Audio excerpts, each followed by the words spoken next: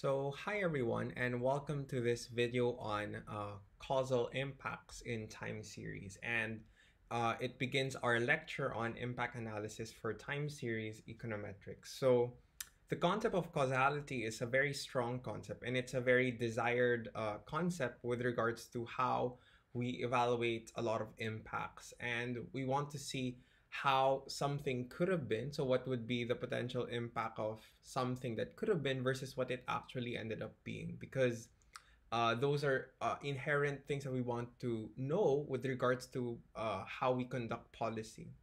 And uh, traditionally, the way that we uh, determine the causal impact of something is through the use of randomized experiments. But in many instances, doing a randomized experiment or a randomized control trial is not uh, feasible, it may be ethically wrong, or it may be uh, too expensive from the point of view of research. So what we do is we try to do a sort of observational studies to see for uh, to see causal effects, and what we do is we sort of use things called synthetic controls or synthetic uh, benchmarks to be able to determine what's the average treatment effect or what's the average causal effect of a certain action that we're going to do. And for this particular video, we're going to apply that sort of understanding to a time series data set. So in this example, we'll see how uh, potentially a policy action by a central bank was able to alleviate or not alleviate, we don't know yet, of uh, uh, the rate at which banks sort of borrow from each other. So suppose that there was a crisis and the central bank implemented some action, how would the action, okay, what's the impact of the action on uh, that particular variable? So let's see how that goes. So we're going to be using a specific uh, package called Causal Impact, which was developed by folks over at Google. And I think it's a very straightforward package to use, quite easy and quite intuitive. So we're gonna call that package for you. So that's causal impact. So if you haven't installed it, just use install.packages causal impact. But uh, this should, oh, sorry, library. So th this should run. And uh, it just loads the package. Then what we're gonna do is we're gonna load our data set. So I'll call it df. Then uh, it's a CSV file. So read.csv file.choose. Okay, so we uh, choose the file. It's in my desktop so I'll uh, search the desktop and that's causal exercise. By the way, the dataset will be linked in the description box below. Okay, then what I'm gonna do is I'm just gonna modify uh, the date uh, a little bit. So I'm gonna do time dot points. Okay, then uh, sequence of the date, and uh, I begin. So the first date in my dataset uh, is 2020. Uh, the second of uh, the second month, which is February, and the 27th. So my data set starts at February 27th. It's a daily data set, so that's by equal to 1. And then the length uh, out, so the total span of it is about 44 days. So my data set's about that length. Okay, so I'll have that. Okay, so the first thing I'm gonna do is I'm gonna declare okay a couple of time series variables. Series variables. So I'm gonna use uh, IBCL, which is our main variable of interest today. And in the context of the Philippines, that's the rate at which banks uh, borrow or lend from each other. So it's a quite a big determinant of the lending and the borrowing rate, or at least a proxy for it. So uh, IBCL. Then let's do the US 10-year, which is one of the covariates that we'll use, uh, which is the 10-year yield of the of uh, a US government uh, fund. Uh, so we have US 10 year, okay. Then last we have VIX, okay. So the VIX, and that's TSDF of the VIX, right? So these two variables here are what we know as covariates, and they're essentially variables that sort of co-move in the same way that this variable does, okay but they're not re uh, directly re related to the treatment that we'll end up doing or that we'll end up trying to measure which is uh, in this case, the BSP or the Central Bank of the Philippines implemented a sort of policy action, and we'll see how that affects uh, the IBCL or what's the impact of that on the IBCL. And we're gonna use these two covariates as sort of controls to be able to uh, measure the impact properly. So let's create and bind the data. So bind the data using the zoo command. Then we'll bind it using, uh, we'll bind the system. So that's IBCL, the 10 year bond, and VIX. And uh, the format will be by time points. Okay, by time points. Uh, points. Okay, so we have that.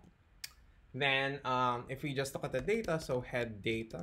Okay, so those are our variables. So we're going to use IBCL as our main uh, variable of interest. Then these are our covariates. That's the US 10 year and the VIX.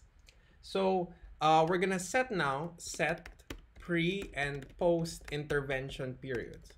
Okay, so what was the period before a certain policy action was implemented and what was the period after that policy action? So in our case, the pre uh, period, okay, the, uh, sorry, pre dot period Okay, so I'll name that object that uh, is from uh, it's between okay so the first date of that of our data set which is 2020 0227 and the day before the policy was implemented which in this case was an asset repurchase program was on the 23rd of march okay so that's our pre-intervention period and our post uh, intervention period uh, starts from the 24th of March, which was the first day of the announcement, and up until the last date of our data set, which is um, 2020-02- uh, sorry, this is 03-24.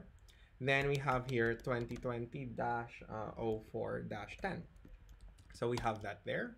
Okay, uh, then we those are the sample periods that uh, we're gonna have. So we want to determine the impact. So let's create an uh, determining determining the causal impact. So the causal impact uh, will be, I'll name an object called impact. And the way to get the causal impact is using causal impact, right? Causal impact. Then we're to use our data set, which is data, right? And uh, we're to uh, calculate for the impact from the pre-period to the post-period. Post.period and you should see it uh, start to compute. Okay, uh, so it will compute. So there's a value of impact there.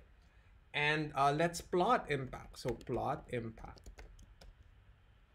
And what you should see is, so we have three uh, graphs here, the original, the pointwise, and the cumulative the cumulative isn't too important in our instance, right? Uh, that we we ignore that. That's typically used for volumes and sales, but this is a rate that we're forecasting, so that's none of our concern. So let's go to the original and let's see.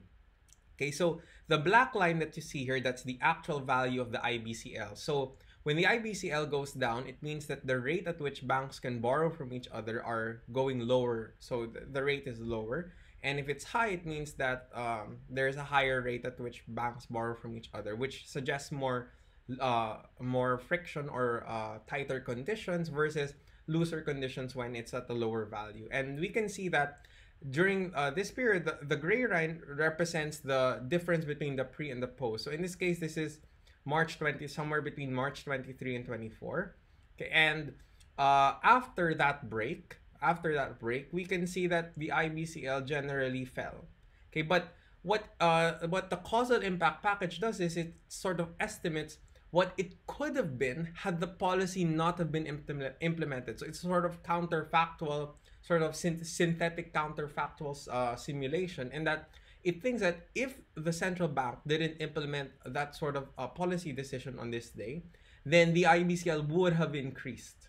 Okay, would have increased, and I think that's a that's a very strong uh, conviction that because of this action, IBCL decreased, but without this action, IBCL would have increased. So that's a very key consideration for policy analysis in terms of a central bank. So we can summarize the results. So summary impact, and you get the results here. So the average IBCL throughout the period is 3.1 and what happened is, um, because of the policy action, there was a decline of about 0.68% in the IBCL or in the rate at, at which banks borrow from other banks.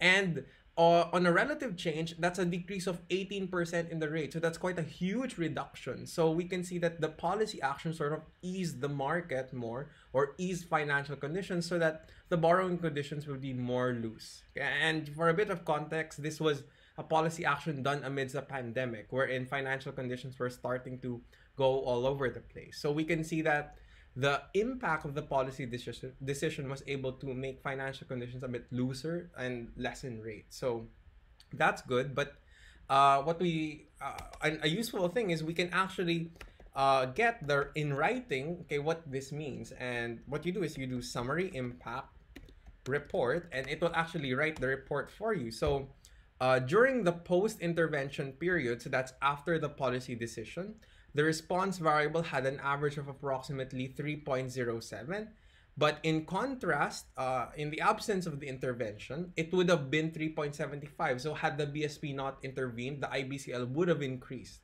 Right? And that shows the confidence interval. And subtracting this prediction from the observed response yields an estimate of the causal intervention, which in this case is equal to negative 0.68, which suggests that the IBCL declined by this much and it's significant.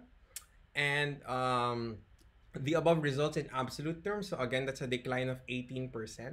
And it means that the negative effect observed during the intervention period is statistically significant. So if the exper- uh, if the experimenter had a positive effect, it's recommended to double check, but uh, that's not of our concern. And the probability of this being some one-off chance is quite small based on this Bayesian one-side tail probability.